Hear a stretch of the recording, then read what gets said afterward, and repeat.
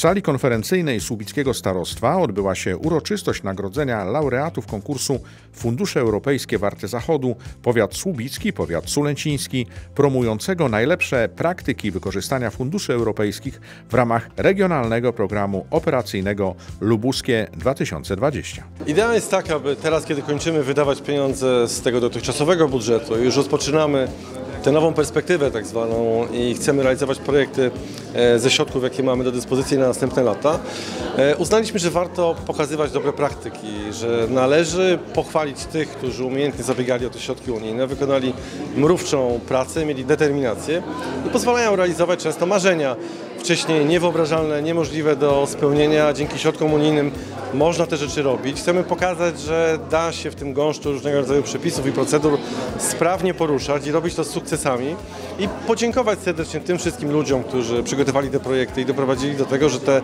inwestycje, różnego rodzaju projekty społeczne zostały przeprowadzone.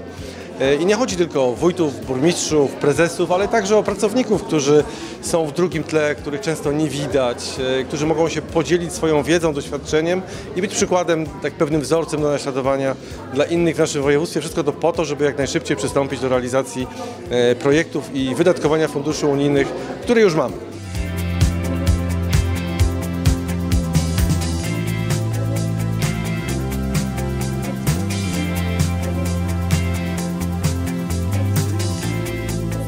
Zataczamy taki drugi krąg. Pierwszy polegał na tym, że tłumaczyliśmy, na czym to wszystko polega, jak zbudowana jest ta cała metodologia, jak ten system funkcjonuje.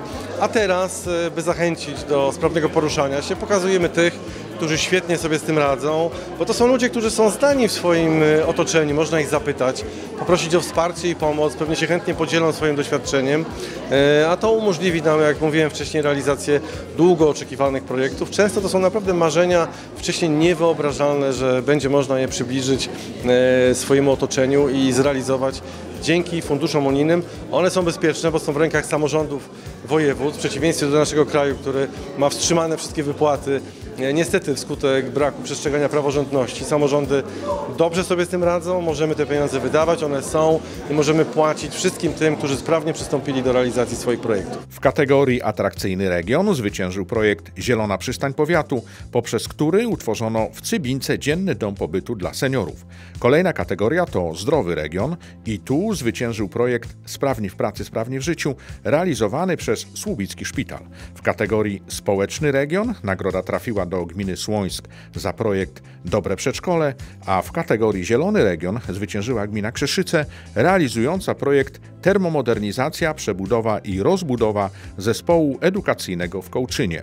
Wszystkim nagrodzonym oraz nominowanym gratulujemy.